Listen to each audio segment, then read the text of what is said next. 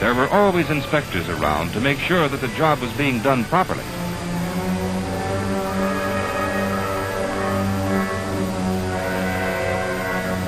In undulating ground and wherever the line changed direction, individual joints had to be bent to fit the contours of the ditch. Just ahead of the welders, men with emery wheels powered by portable motors cleaned the beveled pipe ends to ready them for welding. A side boom tractor picked up each joint and brought it into alignment with the one behind it, while a control rod attached to an internal clamp was threaded through. The clamp was maneuvered so as to grip and hold the two abutting pipe ends.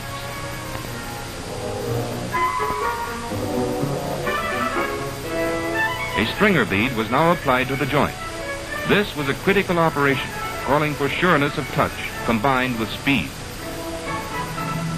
Once the two ends had been linked by the stringer bead, the internal clamp was released, and the next joint of pipe was brought into position.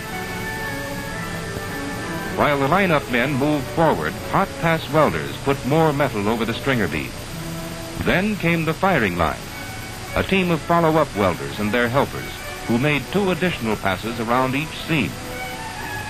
The individual joints were literally blended together into a continuous tube strong enough to carry oil at pressures from 500 to 1100 pounds to the square inch with plenty of strength to spare. To help maintain a uniformly high standard of welding, teams of X-ray technicians kept just behind the welders, photographing a representative number of seams. Practiced eyes scanned the film strips, and if any harmful irregularity or defect were revealed, a weld would have to be repaired or a new one made. The pipeliners took small streams in their stride. The pipe would later be buried well below the stream bed.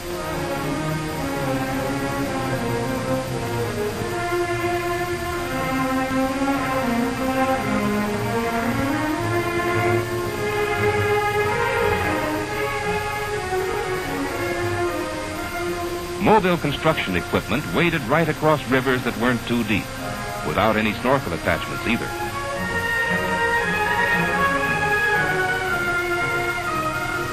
After the welders had done their work on the line, a self-propelled machine supported by a side boom tractor cleaned rust and scale off the surface of the steel with a battery of cutters and painted it with a primer.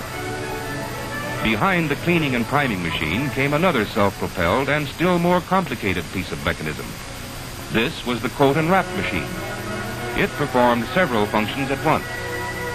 It flooded the surface of the pipe with coal tar enamel at a temperature of 475 degrees, fed through a hose from a traveling kettle. Then it embedded glass floss in the coating for reinforcement, and finally wrapped the pipe in asbestos felt. Thus, the pipeline was protected from corrosion underground.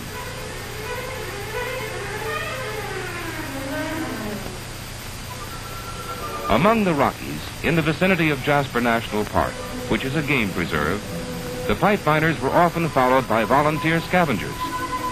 Discarded sandwiches and other food scraps were never wasted.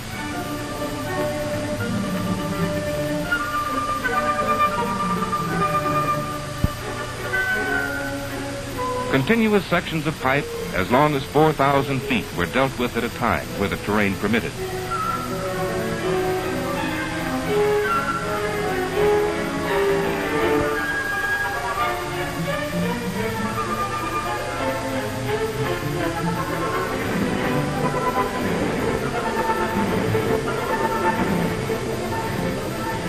For tie-ins, the welders used external line-up clamps. Then the sections were welded together or tied in.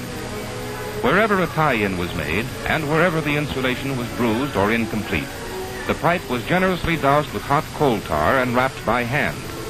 The next step was to lower the pipe into its trench. The big tractors with their side booms gripped and held the pipe aloft in wide slings.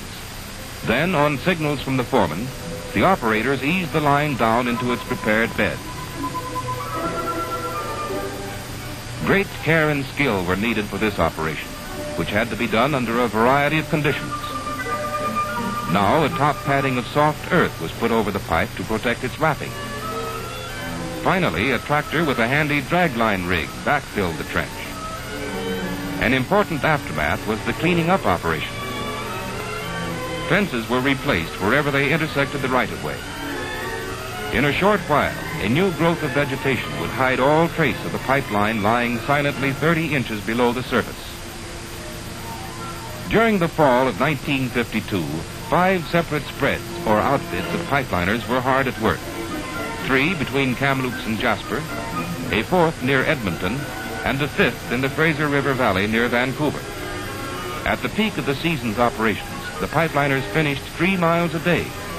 And before they were forced by winter rain, snow, and frost to stop laying pipe for the season, they had filled in nearly half the total distance between Edmonton and Vancouver.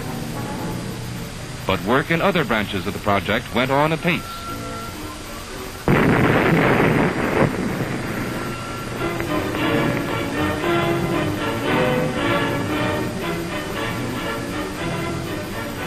Great tank farm at Burnaby, near Vancouver, had been cleared and graded during the summer and fall.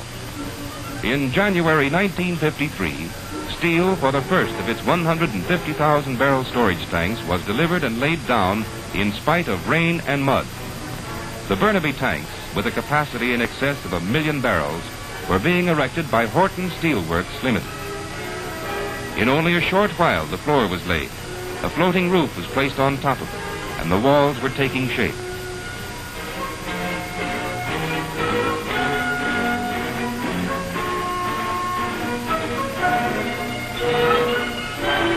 Still another tank was rising on the Burnaby hillside. One after another, its great steel plates were hoisted into position.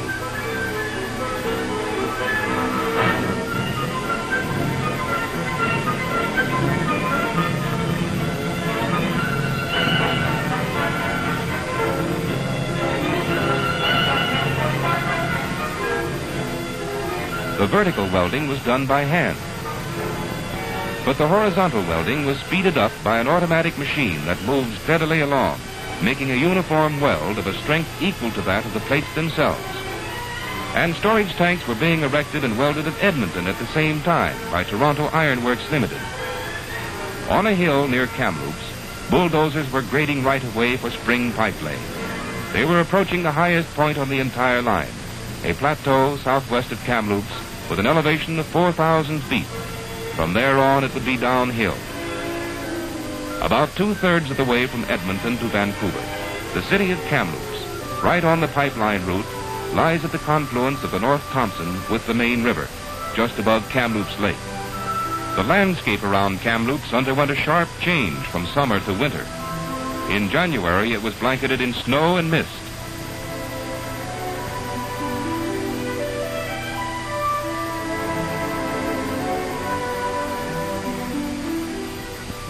On the outskirts of Kamloops, pipeline equipment lay in a storage yard awaiting reconditioning for its next season's work.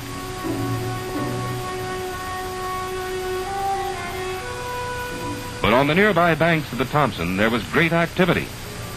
Its insulation protected by wooden slats and ringed with concrete weights, a section of pipeline was pulled across the river. A trench for the pipe at the river bottom was made by a suction dredge working in newly formed ice. The dredge had a small pipeline of its own to carry the sand and silt to shore. Taking advantage of low water, the pipeliners were installing a number of river crossings during the winter. In the Vancouver area, where the weather was mild but moist, preparations were made by Missouri Valley Canadian Limited for the greatest of all the 98 stream and river crossings on the project.